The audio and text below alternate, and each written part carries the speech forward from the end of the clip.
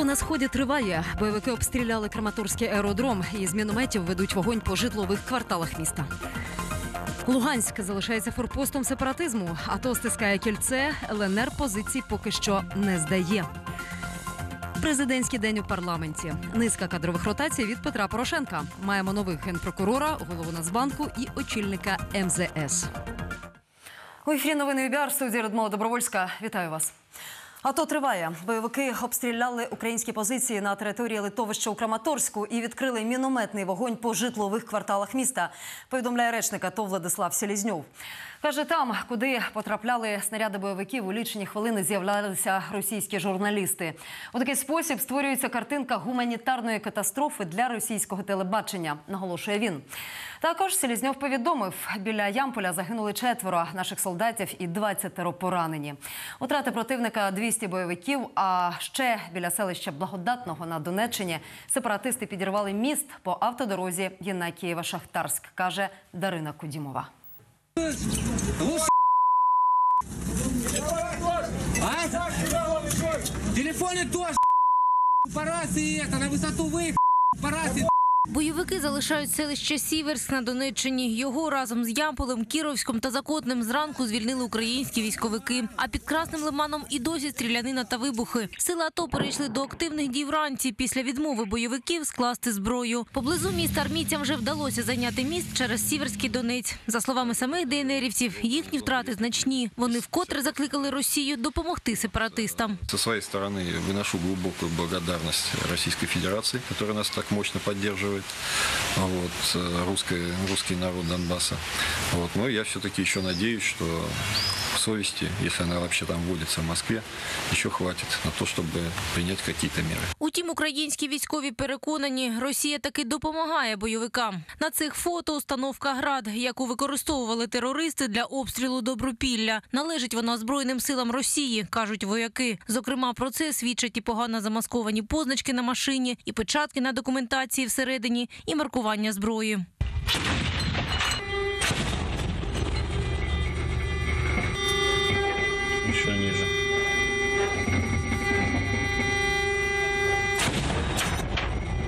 А це вже армійці під Слов'янськом. Вони теж знають про оголошення тимчасового перемір'я. Утім, і надалі відстрілюються від атак. За кілька місяців спецоперації на сході вогонь по позиціях сил АТО бойовики не припиняли жодного дня. Во время моего пребывания по- около месяца здесь м, около двух-трех дней только не было обстрелов со стороны боевиков. В основном обстрел ведется минометами. Минометами бывает подходят с села АГСами обстреливают. Тимчасовим затищем українські військові змогли скористатися лише для того, щоб обмінятися загиблими. Силовики забрали тіла своїх побратимів, збитих у Іл-76 над Луганськом. Останки доправили до Дніпропетровська для процедури ідентифікації. Біля Карлівки урядовим військам їх передали бойовики так званої армії Юго-Востока. С нашей стороны, э, к сожалению, мы не успели э, забрать все тела наших погибших. Э, Количество их составило около 9 человек и около м, 12 раненых. Остальные тела остались на своих местах. Э, Со, со стороны Киева мы э, как бы выполнили свои условия. Э, Они забрали тела погибших в аэропорту. Відвоюючи позиції у сепаратистів, військові стискають кільце АТО. Водночас бойовики активізують свою диверсійну діяльність, кажуть у РНБО. За словами речника інформаційного центру Радбезу, на сході планують провокації з переодягненнями. у Червонопартизанську Луганської області зафіксовано появу озброєних людей в українській е, військовій уніформі, які представляються бійцями Національної гвардії України, які начебто перейшли на бік Росії. Вони перебувають на БТРах та вантажівках. Окрім того, у РНБО кажуть, бойовики і надалі концентрують свої сили на кордоні. З боку Росії прибувають нові підрозділи збройних сил. Поблизу державної межі вони облаштовують вогневі позиції та маскують військову техніку. Ці дані Радбезу вже підтвердили і в НАТО. Дар'я Кудімова, новини UBR. У Держдомі Росії сьогодні укотре заявили, Кремль вторгнення армії в Україну не готує і допомагати сепаратистам не збирається. Ну а тим часом самопроголошений уряд так званої Донецької Народної Республіки відкриває у Росії своє представництво. Самозваний прем'єр ДНР Олександр Бородай каже, воно єдине на території Росії уповноважене робити офіційні заяви від імені так званої ДНР. У Москві ж перебуває зараз керівник ДНР Денис Пушилін і навіть зустрічається із російськими посадовцями. Ну, Луганськ тим часом залишається форпостом сепаратизму. ЛНРівці намагаються вербувати шахтарів, аби ті воювали проти української армії. Але гірники відмовляються, каже РНБО. Сили АТО тим часом сискають навколо міста Кільце. На околицях Луганська тривають бої. Біля селища Металіст напередодні загинули четверо бійців батальйону Айдар, майже 30 поранені. Але утрати супротивника більші близько 30 загиблих. Це дані Радбезу і луганських правоохоронців. Сили АТО за підтримки авіації просуваються у глиб області. Із деталями Сергій Моргун. Про нічні бої на околицях Луганська нагадують розбиті автомобілі та обвуглений асфальт. Зараз затища. Користуючись ним зі спорожнілих сіл довкола міста, люди забирають родичів. Дедушку с бабушкой забрали. родители. Как ведут? В погребе сидели они днями. А это у прихожки крышу разбило и окна повыбивало. с этой стороны? ну, короче, в коридоре не ночевал. скажем так, соседи выезжают. Никого нету там уже, фактически. И коз подпускали, собак подпускали. Все. Ці старенькі з села щастя та його назву вголос вимовляти не хочуть. Затяжні та кровопролитні бої між ЛНРівцями та учасниками АТО гриміли і в селищі Металіст. Це також на околиці Луганська. Військові та бойовики вже частково обмінялися тілами загиблих. У Луганську до осередку самопроголошеної республіки місцеві мешканці почали звозити труни. Мы не можем подс- подсчитать на данный момент количество погибших среди мирного населения, потому что нас, нас не пустили именно забрать все тела. Э, Естественно, очень большое количество погибших именно является со стороны мирного населения. Встановити контроль у Луганську українським військовим наразі не вдалося. Місто й досі лишається осередком сепаратистів. Тут встановлюють свої закони. Лідер ЛНР Валерій Болотов уже оголосив про створення власного КДБ, у складі якого існуватиме підрозділ СМЕРШ, який шукатиме українських розвідників. Карати обіцяють безжально. А вранці ЛНРівці пішли до шахти Комсомольська в Антрациті. Там заблокували автобус із шахтарями і вимагали, аби вони перейшли на бік бойовиків, щоб воювати проти української армії. намагались примусити шахтарів заявити про перехід на сторону так званої ЛНР, отримати зброю та прямувати до села Дякове Луганської області для протидії силам антитерористичної операції. Шахтарі відповіли категоричною відмовою. Будівля СБУ та ОДА постійно під контролем бойовиків. І там утримують полонених. Тимур Юлдашев, колишній командир батальйону. Він понад місяць був бранцем ЛНР. Каже, серед бойовиків чимало росіян у приміщенні СБУ, чимало зброї, є міномети і зенітки. Ну что, стреляли там внутри постоянно. Там м, они же все модные, все предохранитель снимают, когда ходят. Палец возле куртка держат. Ну и периодически... Постреливают? Да, то там, то там, то там. Это то во дворе очередь. Ситуація в Луганську напружена. Українські військові на важкій техніці і танках продовжують нарощувати сили навколо міста і укріплювати вже зайняті пости. Сергій Моргун, новини UBR. Зниклих на Донбасі спостерігачів ОБСЄ бойовики утримують у полоні. Місія налагодила контакт із вісьмома членами, що їх вважали зниклими безвісти. Усі бранці живі і неушкоджені. ОБСЄ закликає негайно звільнити своїх співробітників. Нагадаю, четверо спостерігачів зникли 26 травня на Донеччині і ще четверо на Луганщині 29 травня. Відтепер спонсорам сепаратизму загрожує від трьох до семи років за ґратами із конфіскацією майна і забороною протягом ще двох років обіймати певні посади. Тих, хто добровільно заявлять про свій злочин правоохоронцям, від кримінальної відповідальності обіцяють звільнити. Не стосується це тільки очільників організованих угруповань. Ці нестимуть відповідальність повністю. Такі зміни до законодавства ухвалила Верховна Рада. Ну а президент сьогодні зустрівся у столиці із представниками Донбасу. Це легітимні мери, регіональна політична і бізнес-еліта. Це ті люди, які мають на сході авторитет, підтримку і довіру, каже уповноважений президента із мирного врегулювання конфлікту Ірина Геращенко. А уже завтра президент публічно представить свій мирний план щодо ситуації на сході. Заручниками бойових дій на сході передусім є діти. Вивезти із зони АТО їх вдається далеко не усіх. Скажімо, сиротинцям бойовики часто просто не дають виїхати.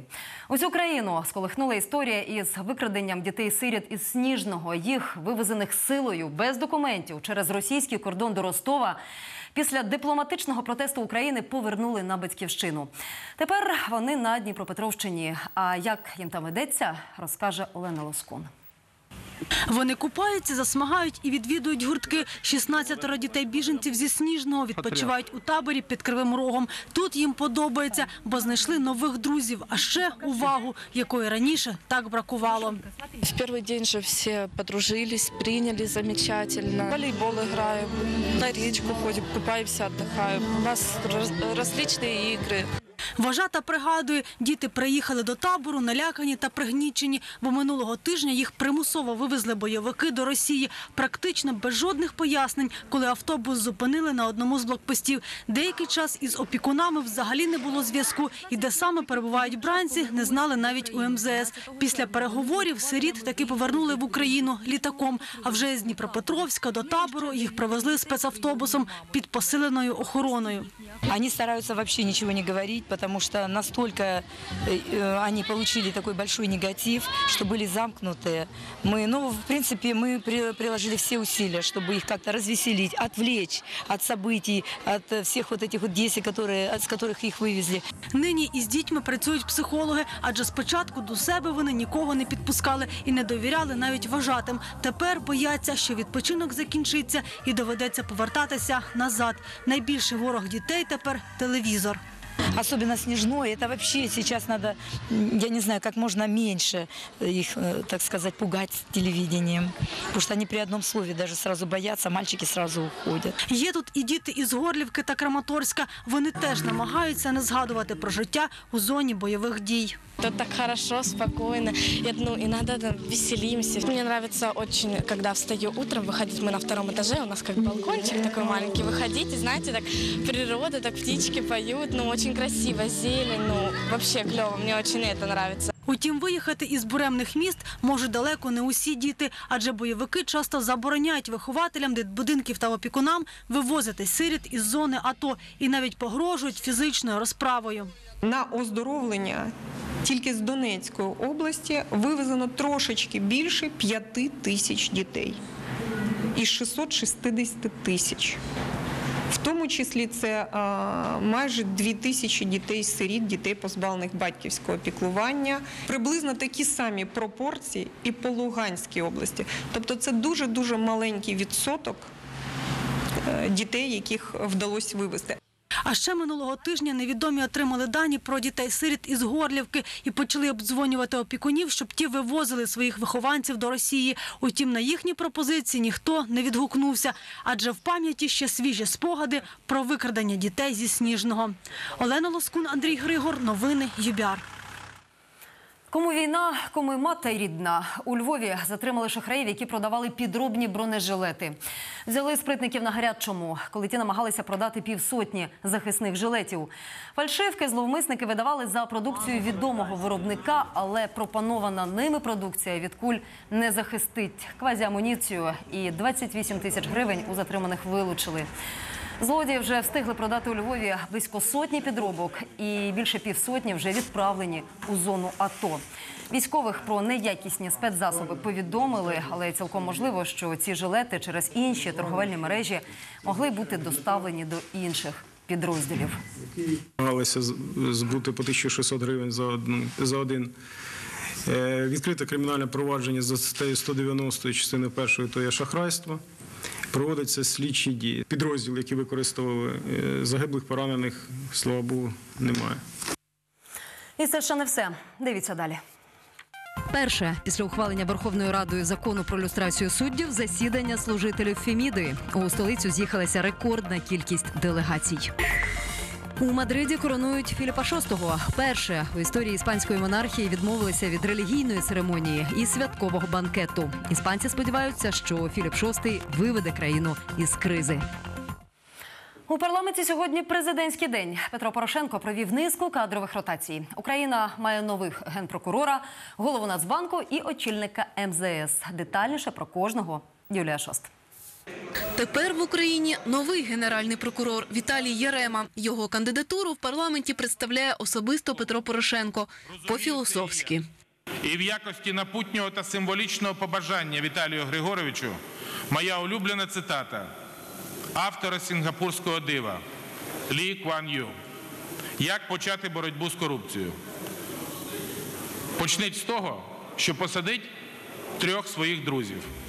Ви точно знаєте за що, вони знають за що, і народ вам повірить. Досі Віталій Ярема був першим віцепрем'єром і відповідав за силовий блок, а колись очолював Міністерство внутрішніх справ. Його кандидатуру зал підтримує без обговорення. Давайте все ж таки Віталію Єреми дамо слово. Голосуємо. Знаємо Віталія Григоровича. Підтримуємо. Голосуємо. Голосуємо. За 329 рішення прийнято. Новопризначеному генпрокурору зал аплодує стоячи. Той бере слово. Я прикладу максимум зусиль для того, щоб в Україні був спокій, мир, щоб верховенство права завжди панувало на території нашої країни. Прикладу всі свої зусилля, всі свої можливості для того, щоб захистити людей від злочинних посягань. Так само стоячи, зал аплодує Андрієві Дещиці, який до сьогодні очолював МЗС. Його популярність особливо зросла, коли він дозволив собі не зовсім дипломатичний вислів про Путіна. Я думаю, що ми поважаємо е, Андрія Богдановича.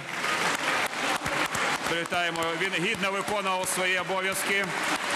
Давав об'єктивні коментарі з багатьох питань. Депутати беруться голосувати президентську креатуру. І Павло Клімкін стає новим очільником МЗС. Проти нього лише свободівці. За словами Юрія Сиротяка, про нього не дуже тепло відгукується українська діаспора у Німеччині, де він досі працював послом. Сам Павло Клімкін родом із Росії, вчився у Москві, але провадить чітку проєвропейську політику. Він один з авторів угоди про асоціацію з ЄС. Я буду намагатися здійснити все, щоб зовнішня політика України була послідовною, консолідованою і проактивною, спрямованою на захист національних інтересів України.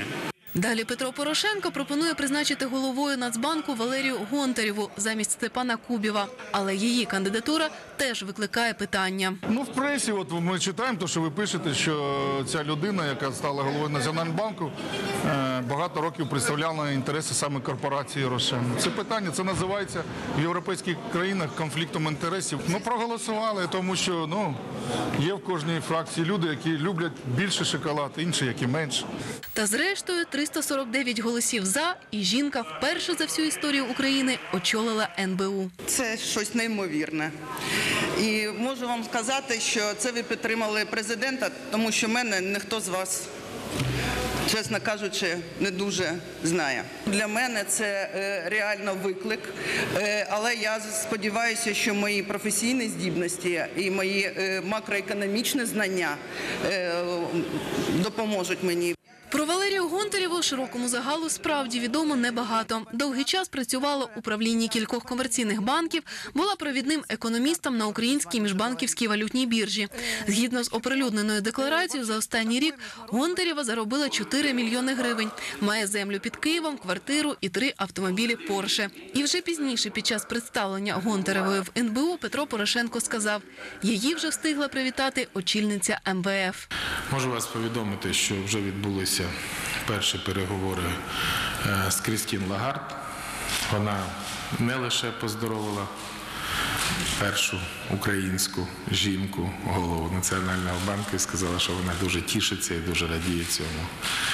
Але дуже задоволена тим результатом, який парламент продемонстрував на підтримку з одного боку пропозиції президента, з іншого боку на підтримку Національного банку. Президент побажав новообраним чиновникам успіхів, а їхнім попередникам подякував. Екс-очільника ГПУ Олега Махніцького він уже призначив своїм радником. Андрію Дещиці запропонував посаду посла. Країна наразі обговорюється, а колишньому голові НБУ пророкував місце у політиці. Юлія Шост, Юрій Макарчук, Олександр Черняк. Новини UBR. І знову раді сьогодні український прем'єр розповідав депутатам, навіщо треба модернізувати українську газотранспортну систему. Після нетривалих суперечок депутати, зрештою, таки включили урядовий законопроект до порядку денного. Але за єдиної умови усі компанії, які претендуватимуть на управління ГТС, пройдуть публічне обговорення.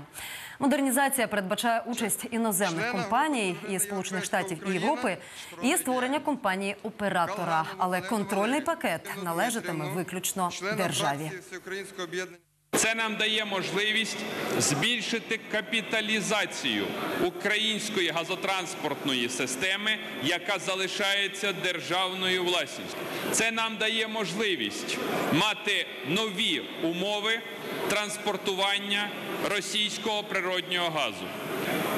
Це нам дає можливість зупинити побудову південного потоку. Ну а поки рада засідала, під її стінами мітингували. Були тут сьогодні і студенти, і захисники довкілля, і позичальники банків. І з чим вони прийшли сюди, і з чим пішли звідси, знає Влад Сокольцов. Моя мама взяла е, кредит на квартиру, і ми подихаємо від цього. І не можуть більше платити. Брали позики, коли долар був по 5 гривень, а тепер мають віддавати по 12 за зелений. НБУ виступав гарантом стабільної гривні.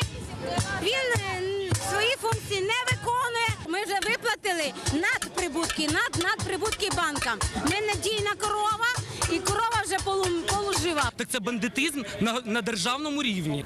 Іпотека скувала Людмилою Запоріжжя по руках і ногах, як ці ланцюги з гирями. А під ногами наочний приклад того, на що вистачає пенсії, бо майже вся вона йде на погашення позики. Кусочек хлеба, вот, граммочка водички, и тут мелочи может быть рубля два. Люди не выдерживают, даже кидаются с мостов с детьми. 115 тисяч сімей на даний момент часу вже позбавлені е, житла завдяки тому, що курс піднявся в 2009 році до 8 гривень. І 650 тисяч е, сімей поз- позбулися свого майна, але залишилися винними банками платити, платити, платити, платити і платити. Такі постраждалі під парламентом облаштували квартиру. Погрожують депутатам переселитися сюди назовсім, тому що І банк просто виганяє на вулицю. а тут навіть уже є чим зайнятися. Е, напевно, вже буду отак от шити з кусочків собі одяг. Люди вимагають від депутатів проголосувати за законопроект, що дасть змогу платити за курсом, який був на той момент, коли брали кредит. Будем лежать, будем здесь спать, я не знаю, полить себя. То есть если нас не слышат, ну, наверное, как-то надо что-то делать, чтобы нас услышали. Із невтішними новинами до людей виходить той, хто ще півтора місяці тому пообіцяв їм допомогти. Микола Рудьковський каже, законопроекту навіть не включили до порядку денного, бо, мовляв, Кабмін не представив альтернативний, а банкіри не йдуть на поступки. Тому депутат пропонує наполягати на тому, щоб Верховна Рада прийняла 4895 за основу, і потім банкіри хай уже вносять свої пропозиції. Значить, іншого варіанту немає. на обрії з'являється Інна Богословська. Її також люди беруть у щільне кільце. Хорошо. Но вчера, спасибо, косметика великое дело. Вручають депутатці звернення до президента, просять передати йому. О, оце воно. Та й Богословський заспокоїти людей нічим, бо в законопроекту у теперішньому вигляді немає перспектив. Там немає формули, яка дасть можливість не обрушити з одного боку бюджет і з іншого боку задовільнити е, вимоги людей. Пускали в парламент депутатів через коридор невдоволених. Кожному вручали листівки із законопроектами, за які, на думку народу, варто голосувати. Нас цікавить ось цей закон, ось цей закон і ось цей сьогодні буде розглядатися. Просимо підтримати. Обіцяють голосувати, але результат будемо бачити в кінці. Депутати говорять одне, а роблять зовсім інше. Будемо бачити результат в кінці дня. На сходах студенти. У них свій мітинг і свої вимоги. Хочуть, щоб депутати ухвалили закон про вищу освіту ще до канікул, щоб у спудеїв був Вибір курсів вільний для студентів, тобто це на- певне наближення до болонської системи. Та депутати і його відкладають. Студенти переконані, що не просто так. Буде дуже незручно відмивати кошти на освіті. Насправді я думаю, що в основному саме із-за цього. У цьому кутку вимагають люстрації в Нафтогазі. Люстрацію Діденко і, і Лохману. Тому що вони хабарники, газові злодії.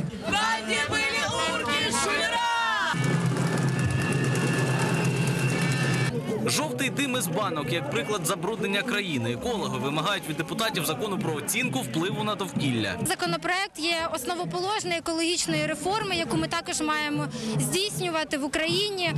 Це, ця процедура забезпечить європейський рівень охорони довкілля в державі. Численні мітинги під парламентом вже стали ледь не щоденною практикою. Щоправда, конкретних результатів вони поки що не дають. Влад Сокольцов, Сергій Дунда, новини UBR. Ну і за валютні кредити депутати сьогодні таки взялися і провалили усі відповідні законопроекти. Відтак спікер доручив уряду і Нацбанку розробити новий документ про переведення позик із іноземної валюти у національну. Ну і кримінальну справу порушили проти екс-міністра охорони здоров'я Раїси Богатирьової. Їй закидають розтрату 340 мільйонів державних гривень нею особисто і її підлеглими. Зокрема, майже 64 мільйони гривень витратили на закупівлю імунобіологічних препаратів і обладнання за цінами істотно завищеними. Так само за завищеною ціною закупили інсулін індар. Перше, після ухвалення Верховною Радою закону, який передбачає люстрацію суддів, засідання служителів Феміди. У столицю з'їхалася рекордна кількість делегацій. Про що йшлося, знає Тетяна Шумська. Спроба номер 4 на Олімпійському збираються делегації на з'їзд суддів. Це засідання кілька разів переносилося. Спочатку на вимогу громадськості, потім через закон про відновлення довіри до суддів. Втім, і нинішнє засідання під питанням. Біля Олімпійського посилена охорона біля входу пікет. Цього разу на підтримку з'їзду суддів, адже частково люстрація відбулася. Але тепер контролюватимуть, щоб не прийшли корупціонери. Делегатам роздають листівки. Підготували е, певні критерії, за якими мають е, відбуватися обрання. Е, Також ми маємо список із суддів, яким ми не довіряємо. В нас є обґрунтування. Оце вісім людей. Чому судді дійсно дуже охоче беруть матеріали? Вони навіть повертаються зсередини. Цей з'їзд за новими правилами. Вперше делегатів суддівські колективи обирали таємним голосуванням. Тож у залі багато нових облич. На збори майже в повному складі приїхала і делегація із Донецької та Луганської областей. кажуть, працювати їм важко. Учитывая нынешнюю ситуацию, мы выехали раньше, поэтому мы добрались вовремя. Но в то же время те, кто ехал из Горловки, они приехали только сегодня, уже непосредственно на самый съезд, потому что как раз 17-го были определенные боевые действия. Призупинила роботу тільки Слов'янський міськрайонний суд. У залі аншлаг. З'їзд починають гімном. Далі обирають президію, секретаріат та лічильну комісію. Делегатів обурює, що вперше на їхнє зібрання не завітав жоден представник влади, а вони б хотіли бачити президента. Нас люструють, нас реорганізують, вносять зміни до Конституції, не запитуючи точку зору судової влади, готують нові закони про судоустрій, не звертаючись до того, як ми до того ставимося, які пропозиції в нас. Голова ради суддів пояснює, Петра Порошенка запрошували, але в того щільний графік. Він сказав, що я каже, не знаю, я просто вибачаю, що завтра не зможу бути на з'їзді, оскільки може таке бути, що я буду навіть в Донецьку, висловився в броньовику. Ось так сказав. І каже, ну було би нормально, я б задоволенням прийшов, якби з'їзд перенесли. Виникає суперечка. Дехто пропонує перенести зібрання, інші навпаки переконані. Відсутність можновладців може стати першим кроком до справжньої незалежності суддів. І виходить, що ми, маючи нагоду на цьому з'їзді підняти ці питання, уходимо від з'їзду. А їх треба обговорювати. Категорично проти перенесення з'їзду луганчани кажуть, вони їхали працювати. По возвращению в Луганск отсюда могут попасть не домой, а могут попасть прямо в подвал захваченного СБУ. И это не шутка, потому что я там был 30 апреля по приглашению шести автоматов АК-47. Вы хотите, чтобы мы рисковали своими с- жизнями для того, чтобы приехать сюда и просто перенести съезд? Після кількагодинних обговорень, перерв та нарад питання ставлять на голосування. З'їзд вирішують не переносити. Та відбувається все дуже повільно. Делегати зняли з розгляду призначення нових членів конституційного суду, але налаштовані обрати представників до Вищої ради юстиції та кваліфікаційної комісії. Обіцяють засідати всю ніч або продовжити завтра. Тетяна Шумська, Алі Карімов, новини ЮБІАР. Мера Києва сьогодні депутати Київради звинуватили в узурпації влади. Мовляв, чого це Віталій Кличко висунув на посаду секретаря представника своєї політсили. Утім, проголосувати за кандидатуру Олексія Резнікова це їм не завадило. А ще мер приймав подарунки і давав автографи, каже Ксенія Тертинська. Пленарне засідання Київради починається з подарунків. Віталій Кличко надає слово представнику майдану. Той на згадку меру дарує розмальовану шину. Кличко навзаєм презентує сотнику боксерські рукавички з автографом.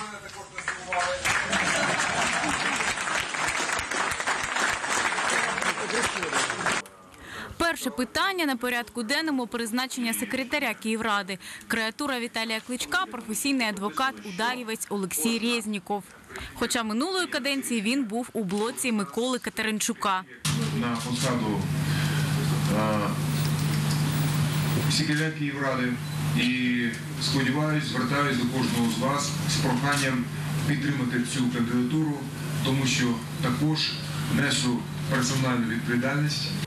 Резніков бере слово, говорить про себе, але в перерві, яку оголосив Віталій Кличко, депутати кандидатуру критикують. Секретарем Київради має бути людина не від удару.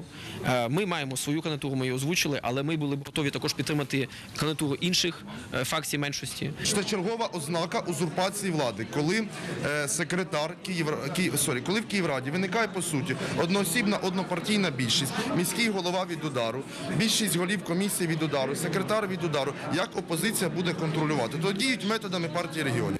Депутати скаржаться не тільки на кандидата Кличка. Сьогодні вони отримали перелік і склад постійних комісій.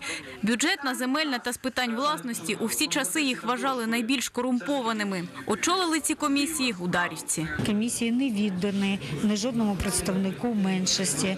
А Кличко забрав на свою провладну фракцію. Коли я побачив вчора такий склад комісії, так, то я вважаю, що це перший крок.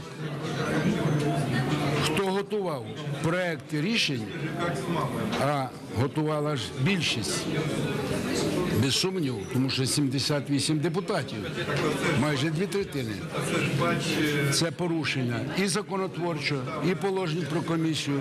Попліткували і знову до роботи. Але тепер Віталій Кличко оголошує двогодинну перерву для таємного голосування. Результати підтвердили очікування. 93 із 115 депутатів посадили в крісло секретаря Олексія Резнікова. Я переконаний в тому, що в мене відкрита душа, відкриті е, наміри.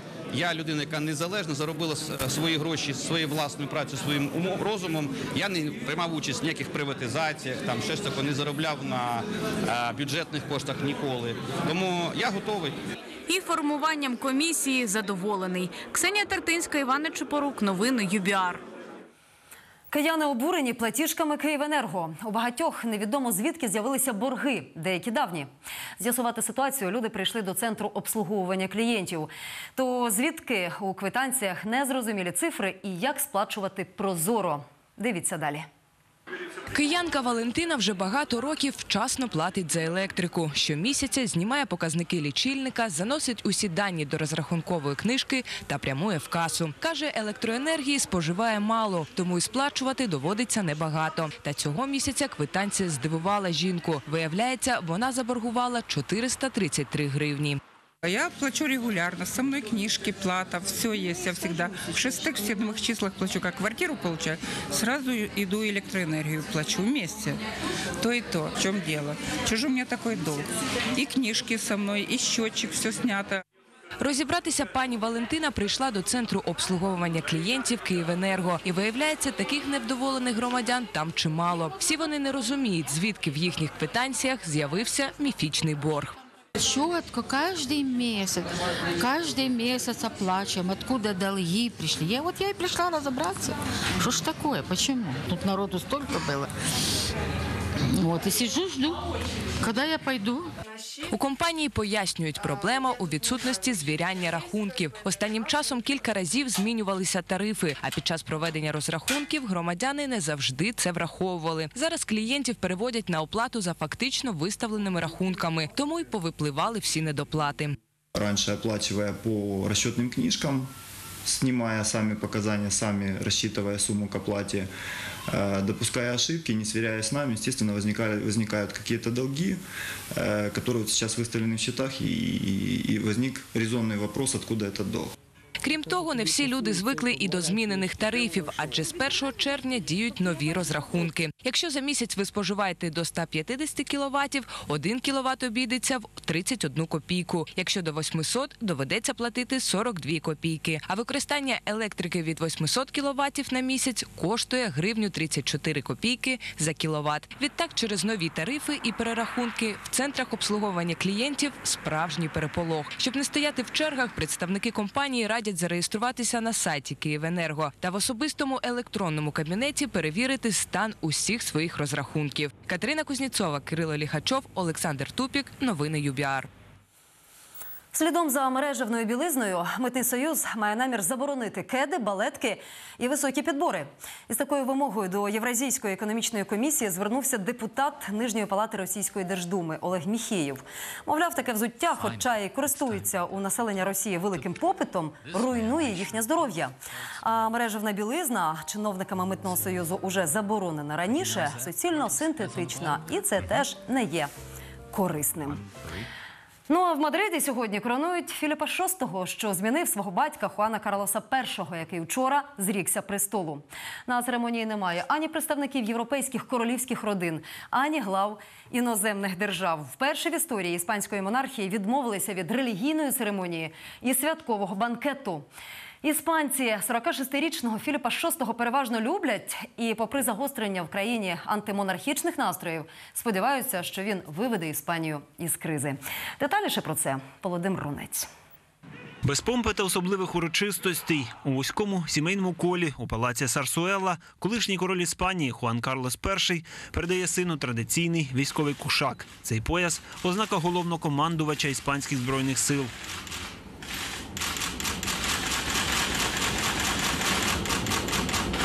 Потім присяга у парламенті. Тут зібралися почесні гості, сенатори та урядовці. Нового монарха під бурхливі оплески вітають стоячи.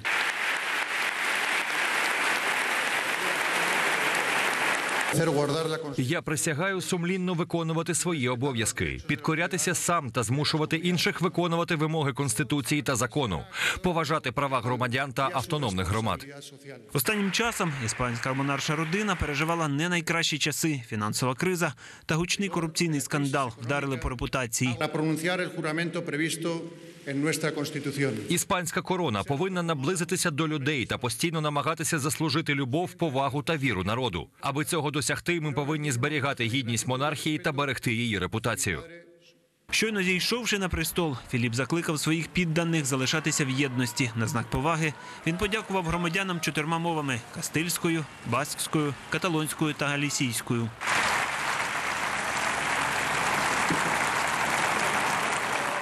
Після присяги, приїхавши до свого палацу у кортежі, король Філіп VI у супроводі дружини Летісії виходить на балкон королівської резиденції привітати свій народ. Позаду доньки інфанти Леонор та Софія.